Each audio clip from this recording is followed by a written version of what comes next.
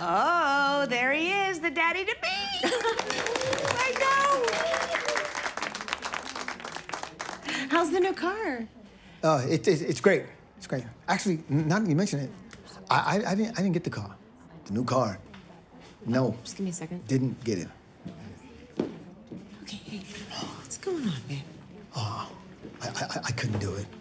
I, you know, I'm standing right there, it's ready to sign on the dotted line. I just, Gino, what we are doing, it's forever. A baby is forever. Okay, whoa, whoa, wait, wait. Are you having second thoughts? Not about the baby.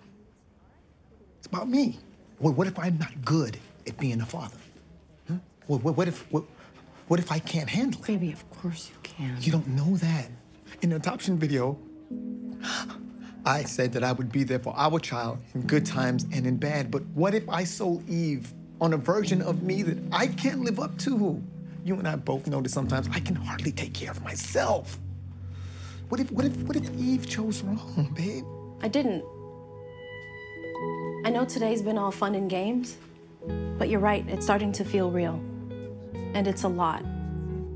But the one comfort I've taken in all of this is knowing that you're gonna be this baby's dad. I just I I worry.